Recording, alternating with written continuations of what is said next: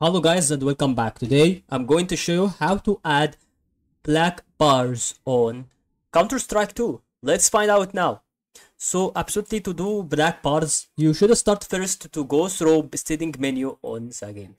So when you ever are going to be on the setting menu, you should start to go here on the game and start to go and click on the game and then click on game again itself. So once you click on the game again, you're gonna find out enable developer console then as you can see i click on yes and then i press uh, i click on no if you have to see no and press yes. Now once you do it you're gonna find out this absolutely to, return it to the main page and let's now do it.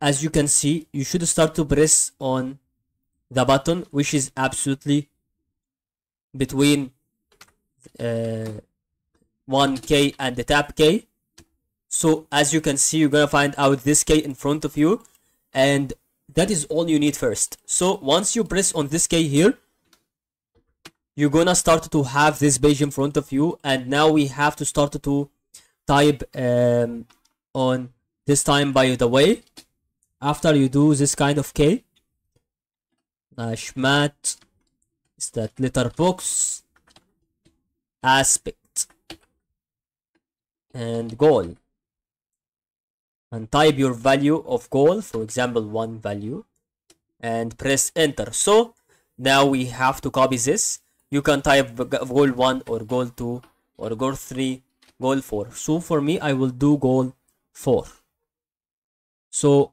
with desired aspect ratio for black bars use uh, 3 uh, 4 use 4 uh, that's 3 aspect ratio like 1.333 so um we can you can do 133 like this. So let's try it and find it out. As you can see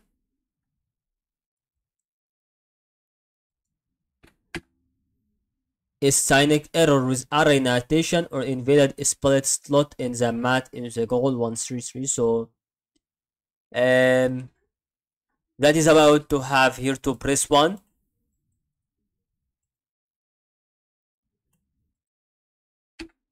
okay now we have tried to do it. It tells this is really okay. It have done it and this is really no problem at all guys. So that is all to know how to do this command. Almost that is really what i am going to talk about here. This is really the final command that you should use here.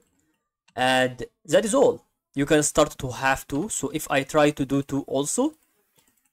And here we are. It could also work that is all to help you guys in this video.